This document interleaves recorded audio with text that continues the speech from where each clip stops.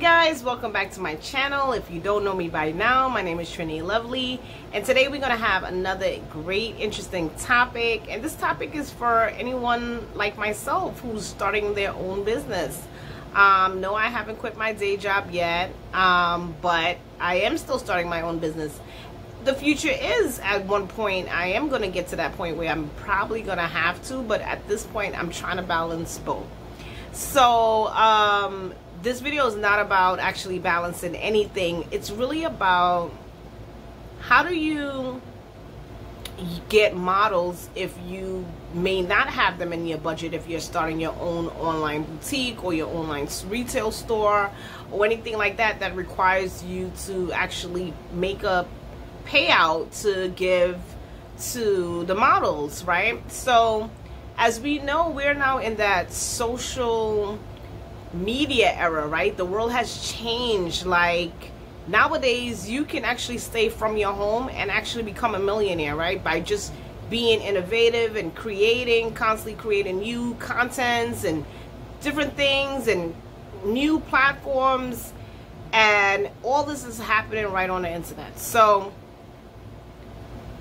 basically, if you are at the point where you may not have them in your budget, and you're actually using yourself only as a model, well, you might think about getting an influencer, getting um, a brand ambassador. And if you are not familiar with these terminologies, a brand ambassador is someone who works for you long term, right? Um, you create a contract and you you say what you want, what you want, and what you expect. And they're basically um, branding your company using their social medias. For instance, if you were um, looking for someone as a brand ambassador, you go on your Instagram and you reach out to someone and you you know you really come out legit you know you you basically have clause there's certain requirements that you want to reference when you're actually making this contract, like um, a standard agreement, cancellation clause, and many different attributes that you want to say within these contracts that you're creating to reach out to your brand ambassador or you can use an influencer. So an influencer is someone that you may use on a short term period to brand your your products, right?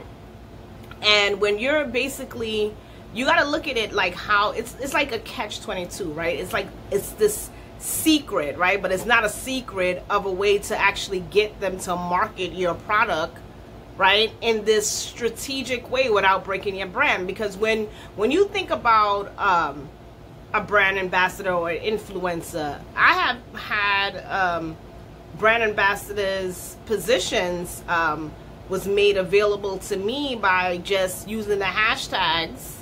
And um, you know companies happened to see me and reached out to me and they basically wanted me to model their products. But sometimes they want you to pay 35% or they want you to pay 50% for the item or sometimes they can give you the product for free. So it really depends on your budget how you want to actually um, give as a compensation. If you want to give the, if you want them to buy your product at half price or you want to give them a percentage off or you want them to basically get the product for free.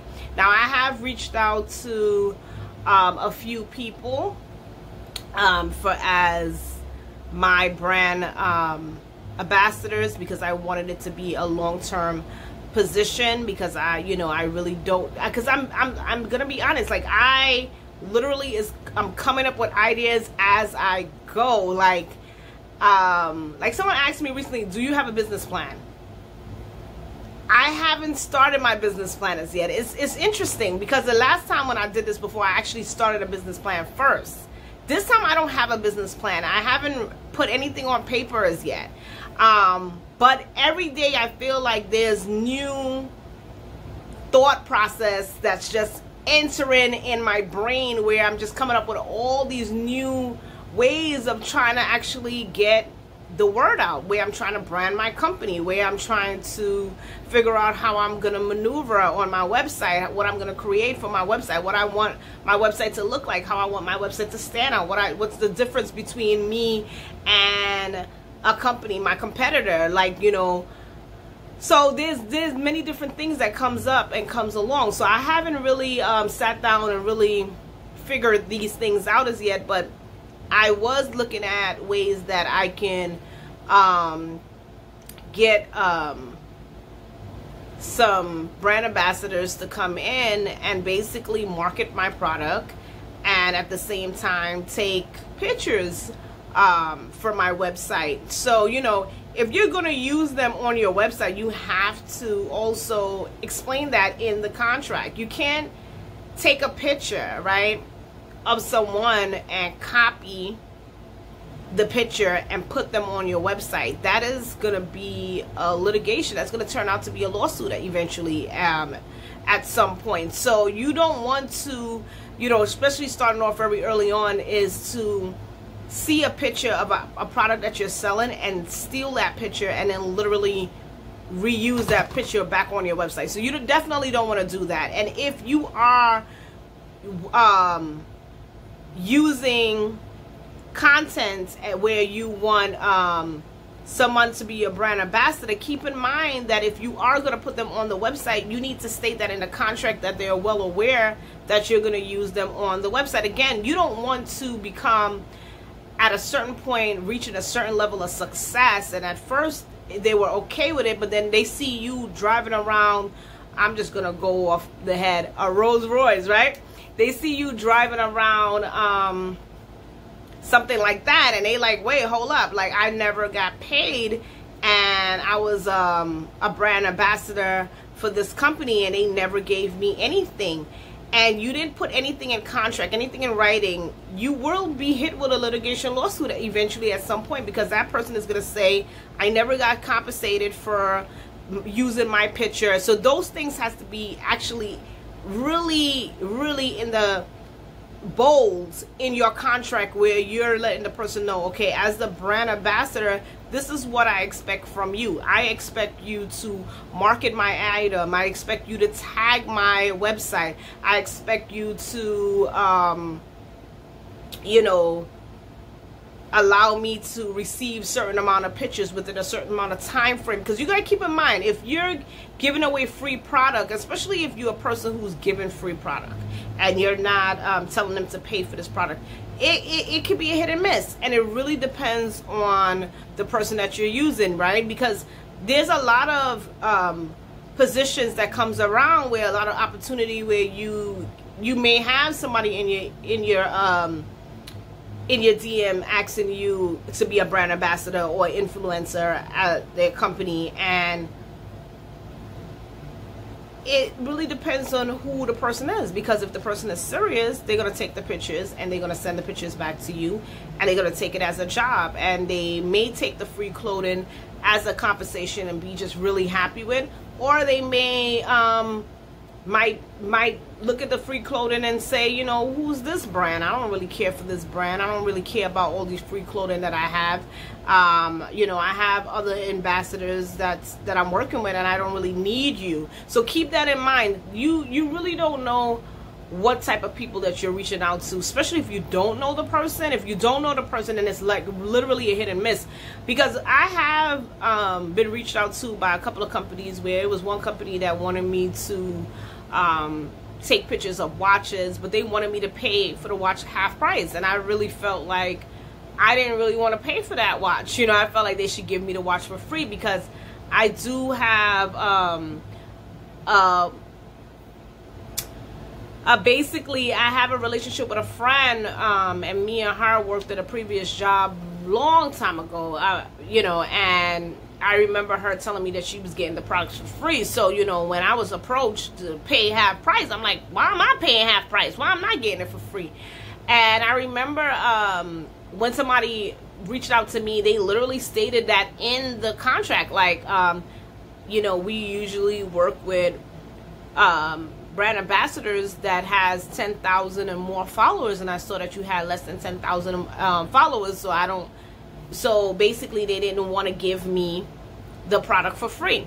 So as you see as plain as day, they stated that within their contract of what they were expecting as it was like a terms of agreement that they wanted they wanted you to know that you're not gonna get free products and that's exactly how you have to move when you're actually are the business person and you're basically expecting um, you know service right?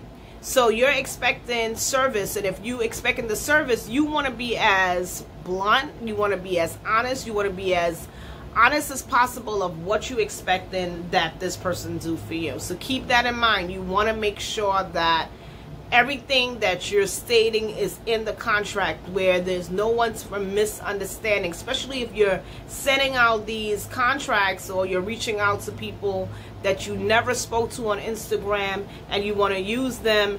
Because I'm not even gonna lie like I I didn't even use um people I didn't know right? And I'll see like people not even answering on the contract. So keep that in mind. You may go through that too. Some people may not answer. Some people may not like the agreement that you that that you want them to agree to. So always keep that in mind. At this point, it's business. It's not personal. So you know if the person doesn't answer you, it's not personal. If you um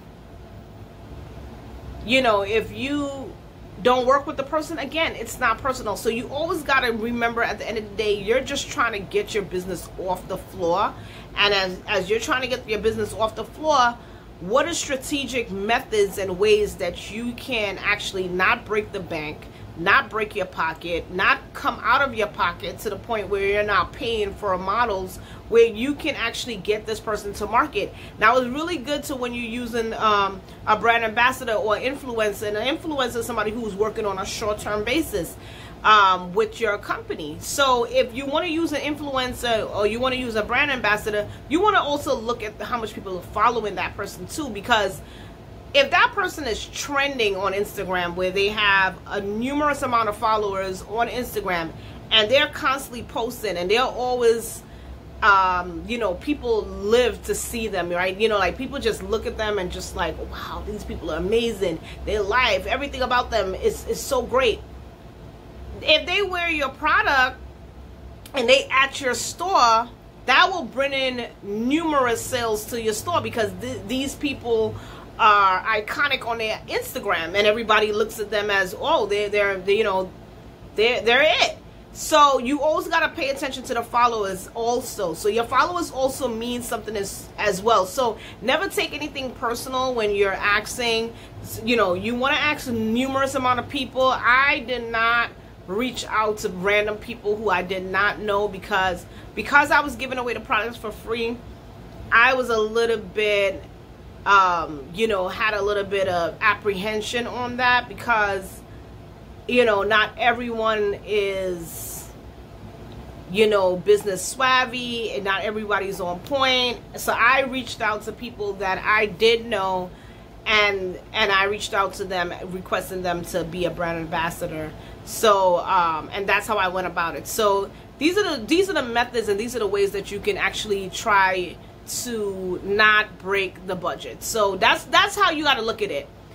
I was speaking to um, a friend recently and she was letting me know she was like you know there's a lot of corporations companies businesses small businesses you know they get a lot of stuff for free and she was like you know the the goal is is not really to reach into your pocket but when you're starting at the point where you are at the very start of the startup and you may not be familiar in this um, you know in this market because this is something that you have not tried yet. And everything right now is research. Everything is really trying to understand you know how to get your foot within this market how to get it wet right? So if you're doing that then you have to be always open for you know for change. You have to always be open and, and, and switch up and, and change as you go. But keep in mind I just seen a little bug just flew past me. And I literally hate flies. And I had my door open.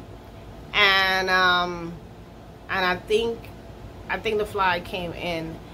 Um, I have a dog, I actually have a Chihuahua and a Pomeranian, so I normally put her outside on at the side so she could run outside and stuff like that. And I think at some point this fly came in here, and that fly just now really, really made me feel like chasing that fly down and hitting it with a newspaper. But I'm gonna, I'm gonna literally ignore that fly and just continue talking so um yeah so back to what i was saying um so if you want to come up with different ways to basically get models maybe at this point you may not be able to afford that model so you can literally go and try to get a brand ambassador or influencer if it's playing it safe is literally asking a family or a friend. Um, but even if it's a family and friend, make sure and still have that contract. If they don't sign a contract, honey, then that's not a brand ambassador. Because if you can't sign a contract, then I, I gotta look at it like you're not serious. And if you're not serious, then you know what's to end up happening i can't really trust that you're to actually take these pictures so that's the only pros and cons of using a family or friend because sometimes when you use families and friends friends and family i, I say they, they're both the same right? When you use friends and family a lot of times they don't take things really serious. That you know if if you were somebody else and you were like um as far as a real person that didn't know them and it was a totally different company that had no affiliation with them they may feel more excited that they, that they got offered that position um, and they may take it way more serious than than you. You know this is my friend and she she asked me to do it or this is my family member and she asked me i'm doing you a favor. But no you're not doing favors because it's a business. It's business. So keep that in mind. I, even though it's pros and cons of accident family and friends, to me, on my experience with having companies reach out to me, I think it's a little bit playing it more safer sending it to a family and friend as to, you know, randomly going on Instagram and, um, you know, sending out DMs to a numerous amount of people or big following. But it's really you know, companies do it all the time, and sometimes it, it could be a hit and miss, and sometimes it really could work. And it really could work because, you know, as I said before, if somebody has a big following and they market your product, and people really look at that person as this person is a really, you know, a fashionista, you know, they're great on their style and they model your stuff, you definitely will pick up sales doing that. So keep that in mind. There's pros and cons in everything and as an entrepreneur, you're a risk taker. You're a person that you're diving right in. You don't, fear is not something that holds you back. You're not being held back by fear. You're actually being driven by your creativity and you're constantly creating. So we don't want to be, you know, I don't want to make this video feel like it's just nothing but fear. This video is a way that you, for you not to break the bank and for you to literally become successful in on your startup without literally touching your pocket to do everything. And this is one of the reasons why I said from the beginning, I was creating my website from scratch. Could I have paid thousands of dollars to get this website started? Maybe I could have. But if I can DIY everything, I would. And I'm not trying to come out my pocket on everything. And that's how you have to look at it. What are strategic ways of inventing new creativity for you to become successful without you having to pay for everything? You already if you're already paying for inventory, do you really want to pay for marketing now? Do you really want to pay for models because marketing marketing this is a strategic way to market your product on Instagram, right? And you're killing two birds with one stone you're marketing plus you're also you know if you have an instagram um, business page or you have your website and you put inside of that you know in that contract that you want to use them on their website as well. All these things benefit you. So everything really benefits you at the end of the day. And, you know, um, and again, thank you for watching. Feel free to join in next week as we continue on our business day. Um, so thank you again.